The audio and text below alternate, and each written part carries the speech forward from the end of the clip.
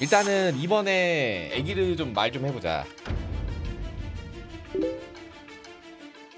이게 애기르가 이 관문 같은 경우가 조금 physical 요소가 많아서 몸으로 박아야 돼. 하여튼 요번 애기르가 약간 무슨 느낌이냐면 시즌 2 때 발탄이거든요. 지금 발탄 말고 시즌 2 막 나왔을 때 발탄 처음 나왔을 때 이게 난이도가 처음에 낙사 부딪힌 느낌이었거든.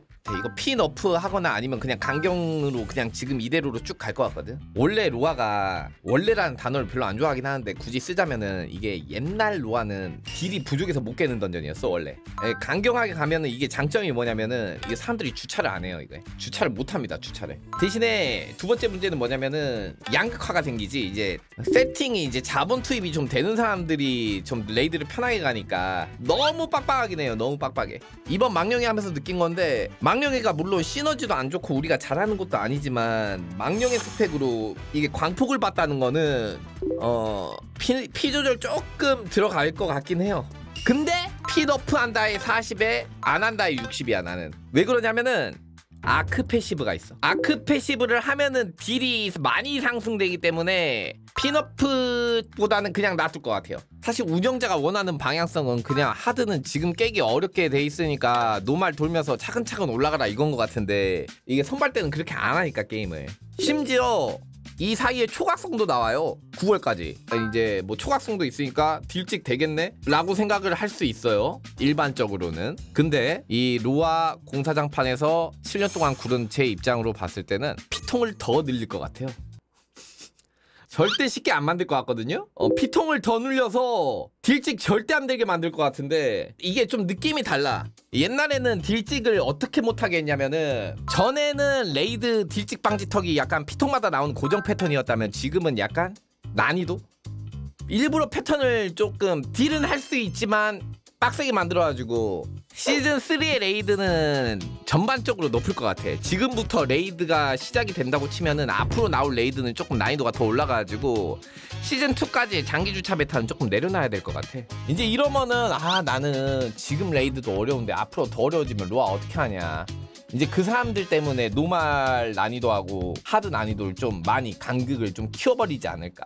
지금 애기르만 봐도 normal이랑 hard랑 난이도가 거의 천지, 천지 차이급이거든요. 네, normal 영상 봐보니까 존내 쉽긴 하더만. 이게 좀 어렵다고 느껴지는 게 애기르 이관에서 뭐 예를 들어서 무력화 패턴 시작 전에 애가 창을 양옆으로 이렇게 돌리는 패턴이 있거든요.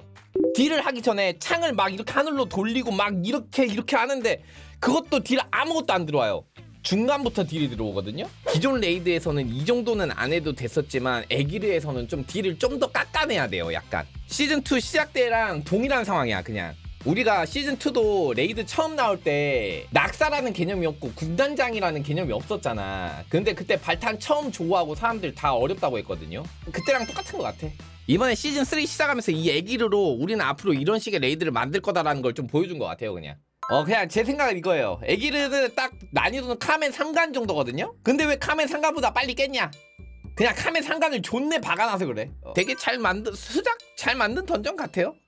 되게 재밌었어요. 근데 아 내가 head라서 그런가 몰라도 아 back 사멸은 좀 할만할 거야. head 사멸은 수바 이거 딜하지 말라는 수준이거든? 진짜로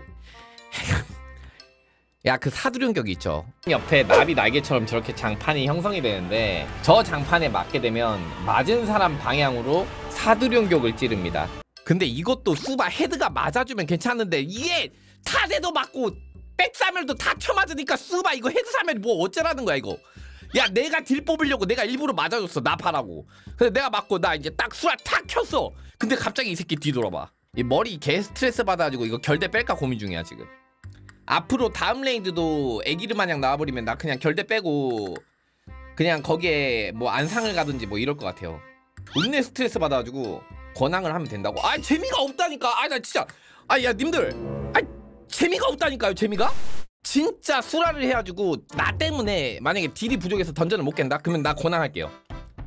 나 근데 그거 아니면 안 할 거야. 이거는 이거는 약간 똥꼬집 아니야. 그냥 나 진짜 내가 이거 어느 정도 좀 재밌어야지 나 권항 안 좋다고 한 말 없어 권항 좋아 권항 좋거든 진짜 아 더블이야? 아, 이게 직접 써보니까 좀 말이 달라지는데 이거 권항 세팅도 카제 2막 때는 좀 해놔야겠는데? 나는 그리고 ark passive만 봐도 권왕이 정배라고 생각하는 사람임 근데 수라 할래 재밌잖아 수라가 근데 지금 권왕 요청이 존내 존내 많아가지고 권왕 보여드리긴 할 겁니다. ark passive 가면은 적어도 그때는 왔다 갔다 되니까. 그리고 또 몰라. 내가 권왕 했다가 또 재밌어가지고 할지도. 알잖아 내 성격. 사두령격 패턴만 봐도 그렇다니까? 수라를 어글 뽑으려고 내가 피격을 했어. 아덴을 켰어 수라를 켰어 대가리 돌아. 끝이야 그러면은. 바로 damage 반토막이에요. 이제 try 하면서 서포 실력이 갈수록 중요해지는 것 같다고요? 서포 실력은 옛날부터 되게 중요했어요 님들. 서포도 많이 중요해요. 에기르급 올라오신 서포터님들은 다 잘하시니까 뭐 볼 게 없는 거지 사실 경험치요. 아 그건 좋은 것 같아. 나 진짜 난 평생 망령에 함께 하고 싶은 게 다른 파티보다 경험치가 제일 많이 쌓인단 말이야. 나 너무 좋아 진짜. 님들 아 그냥 딱 말할게요. 이거 망령이 잘하는 파티 아닙니다. 저희는 님들한테 잘하는 모습 말고요. 저희가 노력하는 모습 보여줄 거예요. 뭐 그리고 그런 거 신경 안 써요. 그리고 저희는 뭐 다른 그리고 인방도 마찬가지잖아요. 님들 보라고 방송하는 거지. 뭐 거기서 우리 욕하는 사람 방송 봐라고 방송하는 거 아니야. 그러니까 별 신경 안 쓰니까 걱정하지 마세요. 우리가 나쁜 짓 한 것도 아니고 무슨 범법을 저지른 것도 아니고 씨 잘못한 게 없는데 우리가 왜 허리를 굽혀야 돼?